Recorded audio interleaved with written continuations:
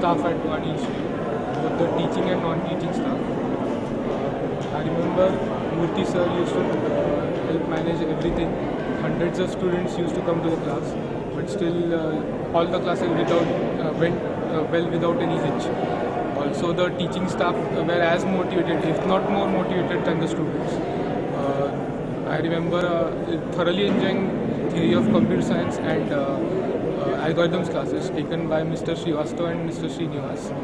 That was the first time I really enjoyed learning, and uh, I used to look forward to come to Vani classes on weekends because uh, even though the classes were of like eight hours or more, uh, we really never got tired and we wanted to learn more. Uh, they were the primary source of our motivation, and uh, we saw the efforts they put in, and we wanted to do the same for us. So, I, from the bottom of my heart, I want to thank all the staff at Vani, including Murthy sir uh, and others.